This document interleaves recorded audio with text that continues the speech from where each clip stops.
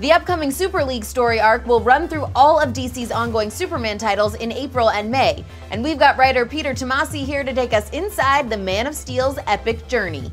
So, what's the Super League story arc about? Super League is a massive two month storyline that takes place throughout the entire breadth of the Superman books.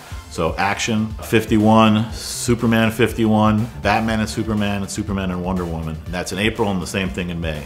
So I'm assuming there are going to be some pretty long-term ramifications from this story arc. Uh, yeah, some pretty major repercussions. All I can say is that the Superman universe will never be the same again after Superman 52 coming out in May. Will Superman revisit any of his old villains? No, actually, he he doesn't see any of his old villains. There is a a bad guy in this uh, eight issues, of course, but uh, it's a new bad guy. Who are some of the artists that you're working with? We're leading off on Superman 51 with Mikel Janin, who's coming off of his great work on um, Grayson. He does the actual inking and coloring, so it just looks phenomenal. He brings a real epicness to it.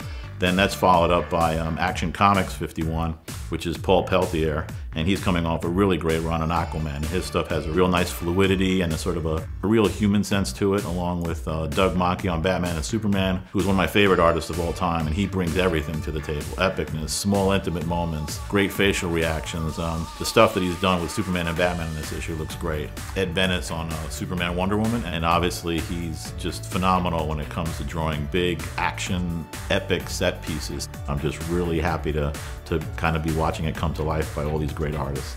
Awesome. Thanks so much, Pete. No, my pleasure. I can't wait to hear people's feedback on it, and I hope they really enjoy it. So thank you. That's it for now, but you guys, we've got a very special fifth Wednesday this month for you to get even more comics. So make sure you ride that wave to your local comic shop and pick up the 50th anniversary issue of Aquaman. See you tomorrow.